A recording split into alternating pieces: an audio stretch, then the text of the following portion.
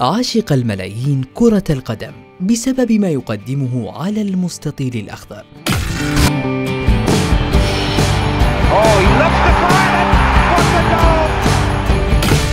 يوهان كروي نقل الثورة الهولندية إلى الملاعب الأوروبية فأصبح كل شيء قائما في البلد على اللعب الجمالي الممتع بعد خسارة الطواحين نهائي 74 أمام ألمانيا رشح الجمهور هولندا للفوز بمونديال 78 في الأرجنتين لأنهم الأفضل ويمتلكون واحدا من أهم أساطير اللعبة. قبل البطولة بأيام حدثت المفاجأة التي أحزنت الجماهير. كرويف يعتذر عن المشاركة مع بلاده في كأس العالم. وصلت هولندا النهائي لكنها خسرت أمام الأرجنتين بثلاثة أهداف مقابل هدف.